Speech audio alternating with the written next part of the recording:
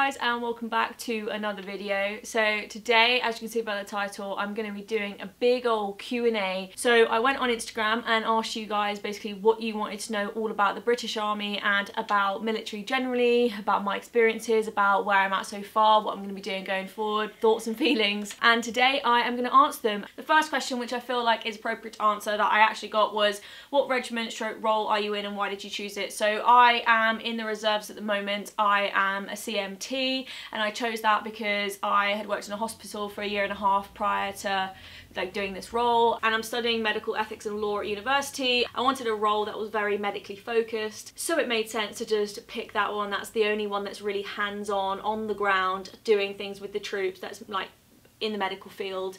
Okay, so what is the accommodation like in basic training is the next question. Essentially, it reminds me of university dorm halls. There are some really great pictures online that you can find if you type in the training centre that you're going to. And also there's some good YouTube videos that people have done at, at basic training and showing you what the accommodation like is like. I don't know if it does vary between training centre, but from what I've seen, it's essentially single bed, like shelving or wardrobe units around the bed or next to the bed and that's pretty much it and then obviously you share a room but that the number of how many people you share with depends on where you go. So most excited about during basic training is probably going to be meeting new people, getting stuck in, being able just to experience all the different elements of knowing who you are as a person and putting yourself through those hardships and knowing that you're actually going to be going through an experience that's going to help you grow as cheesy and trite as that may sound. And also just all the fun things that you get to do and all of the new skills you get to pick up and learn. And that's what I most look forward to least looking forward to is sleep deprivation I think. I'm the type of person that needs at least nine hours every night. I can probably function on six or seven but I'm not a morning person if I do. So if someone snores or obviously we're gonna have like you know very short um, sleep nights and stuff like that. Yeah, that's going to be tough for me. Not looking forward to that at all. Okay, how long from when you did your assessment to when you started the training? So for the reserves, I did my assessment on the 10th of December and then I started in the reserves uh, and I was attested at the end of January, but it would have been quicker, but I had exams, so I had to push it. Uh, and then training, I mean, again, it can take a while. It just depends on the regiment you're in, the unit you're going with, like what role you want to do. It can be anything from three months to, you know, a year or something. I've heard multiple different things. And then with the regulars, again, it depends on what role you're going into. I've heard crazy things like for RMP, there's a year waiting list. For my role, there's a nine to 10 month waiting list. Like, it really just depends. But that's not to say that you won't be able to do it quicker than that. Like, there are little loopholes where if someone drops out of training and you can just drop everything and go that you might be able to go quicker but basically for my specific role yeah it will take a while from when I do the assessment to when I get to go. Uh, how fast did they reply to your application? I mean literally so quick with the army like you submit the application online and then instantaneously they pretty much say okay can you fill out this form and that form and medical history and stuff like that? And then you'll get a call within a few days or, or a week depending on where you are from a recruiter saying okay here's the next stage of your application. How to progress? It's it's not like other grad schemes or other jobs that you'd apply to where it takes a long time. They're bloody on it like with the army. So just submit your application ASAP and yeah they'll be pretty quick with it. What are certain things that take a while to get used to when you're in the military? Do you know what? This is such a good question.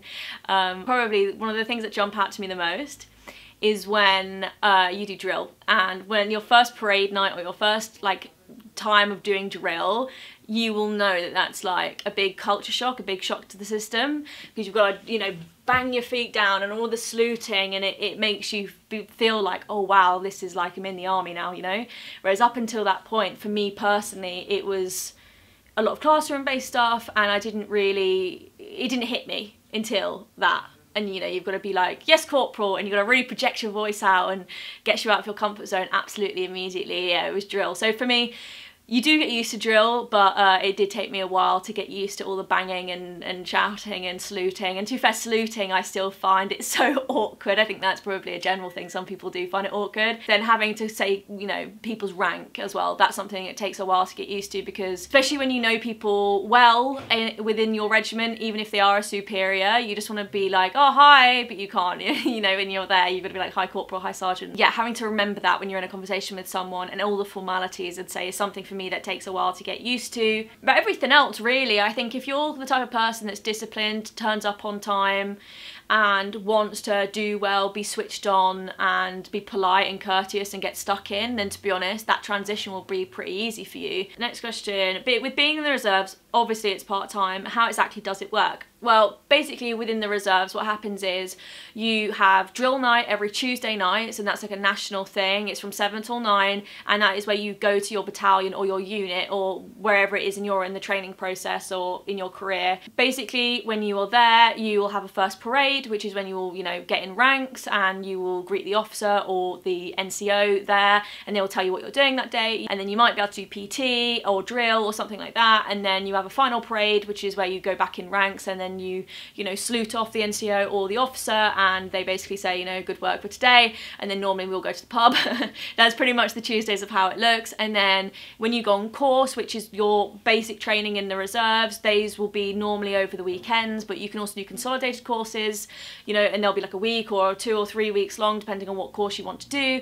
And then once you've passed all of your training in the reserves, essentially it is just the drill nights every Tuesday, and then you get to go and do you know, deployments or further afield stuff or weekend trips and things like that. Any tips fitness-wise to train before joining the reserves? Oh, blimmin' hell, I got loads. I would say the best video to watch, and I'll put it here, was my fitness video that I made about how to get fit and how I got fit to pass the Army Assessment Centre. I would say pretty much joining the reserves in my head I just trained as if I was joining the normal army. Granted you do have to be I think a bit fitter joining the army because of the expectations you're going to face of 14 weeks of basic training. Whereas in the reserves you do have that luxury of a bit more time of once you pass you know your assessment centre then you only are going there once a week. So even if you do PT every week you can slowly have that time to improve rather than being in basic training and being like day one, okay, you need to be this level. So, you know, that's something to like bear in mind. But I would say, yeah, pass, train to pass the assessment centre, keep your training varied, like running wise, long runs, medium runs, sprint runs,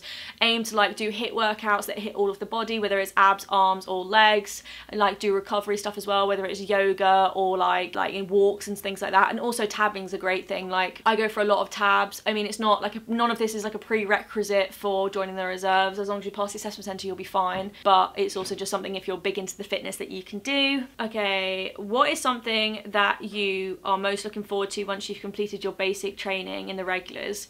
I think it's just getting stuck in and going to like a company or a unit and being like, okay, you can build those connections with people then and you can feel like, hey, this is my career and I'm actually got my feet stuck in now because I feel like, well, I guess a weird analogy is like you're constantly running on the treadmill trying to get where you want to go, but you're not quite there yet. Whereas I can't wait for the day where you can turn the treadmill off and just go out and go for a run and actually be like, oh, I'm in my career now. Like this is the trajectory of what I want to do. And I'm actually like, living it whereas a lot of what I've been doing so far whilst I'm at university obviously I can't commit to anything because I'm still studying it's like I, I've loved being in the reserves but I just want that full time and I'm constantly craving that like I'd love to do this all the time and I'm just can't yet I've got to wait.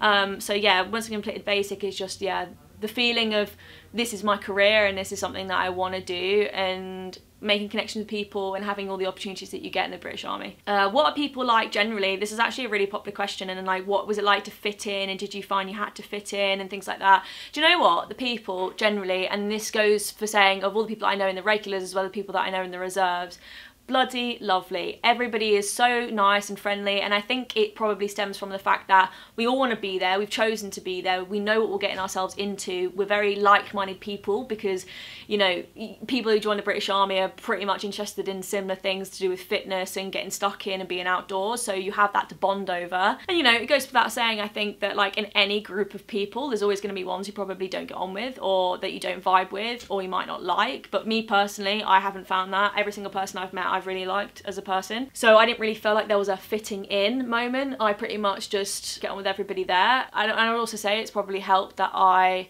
made the effort to talk to people like when as soon as I got there and then you'd go in and there'd be little groups of people talking I would be uh, fine walking up to people and be like hey guys whereas if you didn't do that and maybe you would find it harder to make friends but that's not limited to the army. That's literally goes without saying about any area of life. You just have to get stuck in, talk to people. They won't bite your head off. They'll be fine. Would having a paramedic degree or a medical degree help you become a CMT? I mean, it will definitely help you in the role, but it wouldn't help you become a CMT. You don't need any formal like higher qualifications to be a CMT. You just need GCSEs. So if you think that you need a university degree, you, you don't. Advice on how to choose a specific job or regiment.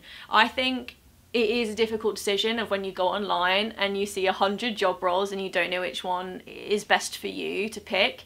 I personally was lucky in that I knew exactly what I wanted to do and I wanted to do something medically related and then whittle the job list down like that. But if you don't have an inkling of an area or a discipline you might have studied before that you want to pursue, then the best advice I have is know what type of job you want, whether it's an officer route or whether it's a soldier route, whether you want to be in the reserves or the regulars, filter those through on the website and then basically click on all the roles and read them and then see like, okay, could I see myself doing that? Could I see myself doing that? And a lot of the roles you'll probably able to bin off quite quickly because they're so different you know, it, will be very difficult to be interested in them all. But yeah, I would say read them all, see which ones jump out to you, and then when you go on the British Army YouTube page, they have uh, short videos for most of the job roles. So you can watch those videos and watch the interviews of people in those roles, and you can kind of get a feel for like, can you see yourself doing that? And I would say, yeah, like once you've decided as well, like what area you want to do, is it going to be REME? Is it going to be AGC? Is it going to be uh, AMS? Is it infantry, light infantry? What do you want to do, like where do you want to be as well. You'll be able to pretty much pick a regiment and a job role from that. Oh, there are so many questions about the AC um, and how I trained for it. Again, the video, I'll put it here about when I did my AC, how I trained originally. I'm going to remake that video too for how I'm training for the AC this time around now that I would like to believe that I'm fitter and uh, my new goals and stuff that I want to achieve when I go to the AC. Um, so yeah, basically any fitness tips for the AC, um, watch that video and I'll bring a new one out. But also all the fitness stuff that I do, I put my marathon training diaries, which are all on my YouTube channel, which are basically consolidated workout videos of two week periods and I chuck it all into a video and that's basically everything that I'm doing fitness wise and I share it with you guys. So I think watching those will give you an insight in the type of training that I do. How do you feel about having to redo the assessment centre? Do you know what? I was initially thinking that like, oh, I don't want to have to redo it because it's like jumping through another hurdle. But then as soon as they said that like, okay, you know, you're definitely going to have to redo it, I was kind of committed and I was like fine about it. I was like, at the end of the day, it's one day of your life and hopefully I'll go to a different training centre so I'll have a like look around there and I'll be able to compare the two experiences. And as well, it gives me an opportunity to go back and improve on the things that I wish I did better like last time like for me uh, the run I think last one was 8.3 8.4 and I wish I did better. I regret it on the day and this time around I want the opportunity to be able to like prove okay here's the fitness standards that I was at and here's where I'm at now. Like I'm committed to this and I want to just prove to myself that I'm capable of more. So with that in mind, I'm pretty excited about it actually. It's going to be for a few months, I would imagine, before I get to go and do it because I've got to obviously do my medical forms and things like that before I can do the assessment centre. But I'm looking forward to it. Okay, uh, how to increase your bleep test score for the assessment centre. Do you know what? I'm going to make a whole separate video on how to do the bleep test, how I do the bleep test, how I've improved my score from a 7.5 to like high end nines. Okay, so my final question is going to be your biggest advice to someone about joining the British Army. I would say my biggest advice is if you're thinking about it and you can see yourself doing it and it doesn't matter if you can see yourself having a 10 year career or doing you know the four year sign on period whether it's in the reserves whether it's in the regulars I would say just go for it. It's something I wish I did sooner and it's given me a complete mental shift in the way I view life and the way I think about things and I'm really enjoying my time doing it. I would say if you are committed to then putting your application in and you want to do it, but you're worried about like how to train, how to get fit, all that type of stuff, I would say as long as you're disciplined and you're committed to what you want to do and you genuinely want to push through in those moments where it's going to be difficult to improve your fitness like when it's 6 a.m and it's splashing it down with rain and you need to go for a run and you're lying in bed thinking oh, I don't want to go you have to force yourself to do it. And trust me it will be beneficial. You never regret going for a run.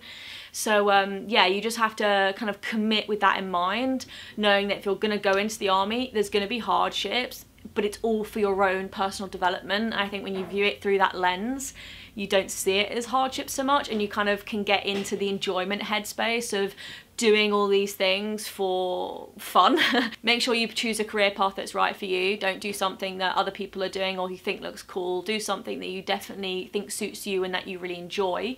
And you'll get opportunities no matter what sort of specified role or regiment you go into and just have fun with it really. You know, if you want to do it, no one can stop you so you should just go for it and do your absolute best. And don't hold yourself back don't make excuses just crack on. Do the best that you can and honestly I've loved my time so far so I reckon that you know you will. You just sort of need to know what you're getting yourself into and be prepared for that. But once you go in with that headspace I think you'll absolutely like be able to get the most out of that situation. So um yeah, that's probably my best advice for someone joining the army. If you want another Q&A like this where I answer questions about military, British Army, or if there's something that I haven't been able to answer in this video, then you can comment below and I'll probably do another Q&A over my Instagram and make another video like this uh, in the future. I hope you like this video. I will see you guys in the next one. I will see you guys next time. Bye!